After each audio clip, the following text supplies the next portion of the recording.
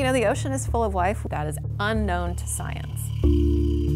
These are animals, systems that have evolved over very, very long time periods to be, you know, successful at living in this really different environment. And if we could study that life, what could we be learning from it, right? Are there things that they do that we could potentially learn from, like reverse engineer and apply to new systems in energy generation, transportation, materials? I don't have the answer to that question, but if we don't have the capacity to observe this life, then we'll never have the answer. I'm Kakani Katija. I'm a bioengineer as well as principal engineer at MBARI. Oh, it's so like tiny. Christmas. These are the tiniest, cutest little cameras. In this particular room, we set up lots of new imaging systems. Our group, the Bioinspiration Lab, focuses on use of imaging and how we can incorporate imaging either as new instruments or parts of new vehicles and platforms to observe life. This instrument here is called DeepPIV. It's a laser-based illumination system, so it allows us to see inside of gelatinous and mucus structures for the first time. And we've been using it to study giant larvaceans that create these beautiful, we call them snot palaces.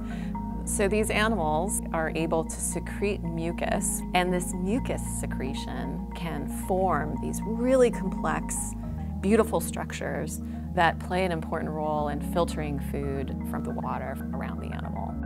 And for the first time using DeepPIV, we were able to do these scans and then reconstruct in three dimensions an entire model. So you can now do a fly through inside and around these mucus structures thanks to this DeepPIV technology that our group has worked on. What's been really interesting is how looking at something so small can have such a big impact on the environment. This is what the DeepPIV data would look like. The stuff on the left is what you would see. These animals play an important role in filtering water.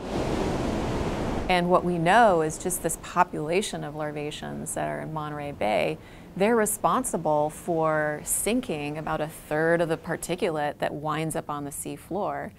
And that means they have an incredibly important role when we're talking about carbon cycling and effects on climate. My path into science actually started out with you know me being a very big nerd and I'd watch Star Trek reruns with my dad every day. This is a star field, a fake star field. I wanted to be an astronaut. That's why I actually started out in aerospace engineering. That's my background. All of a sudden we transition to the ocean and then wound up instead of applying that to flying vehicles, let's say, to instead start focusing on, you know, animals in the ocean. There's estimates that say there's anywhere from 30 to 60% of life in the ocean that we have yet to describe. Who wants to start? This week for me, I think mostly... Everyone at MBARI, we're all driven by this mission to learn more about the ocean. And I think having that shared mission means that we are willing to push harder, try more, fail more. That plays an important role in, in how, we, how we work together. That is the secret sauce.